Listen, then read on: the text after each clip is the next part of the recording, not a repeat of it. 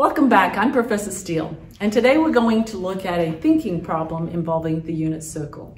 The problem that has been given to us is the original Ferris wheel designed by George Ferris having a radius of 125 feet. If the person boards the Ferris wheel from the bottom, which is ground level, ignoring seat height, how high above the ground is the person after traveling two thirds of the way around the wheel?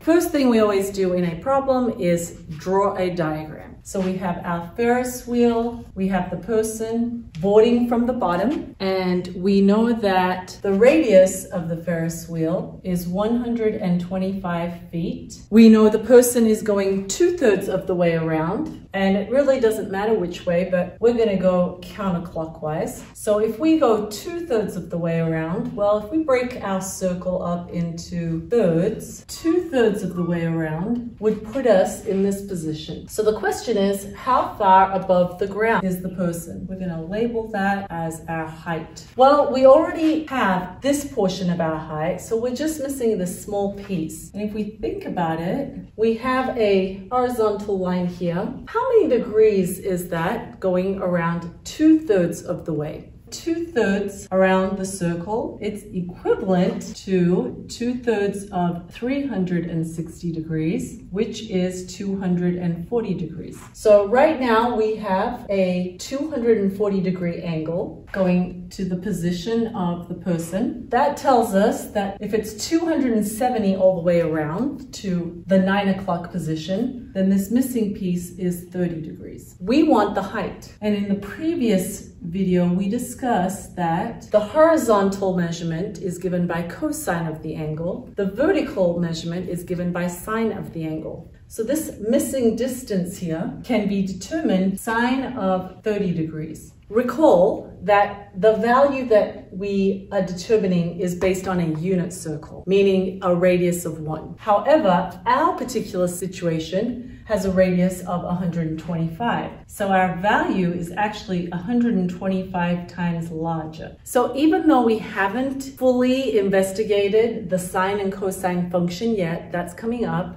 we can rely on our calculator for now. We can determine sine of 30 degrees remembering that this was for a unit circle, which has now been stretched out 125 times. And this gives us 62.5 feet.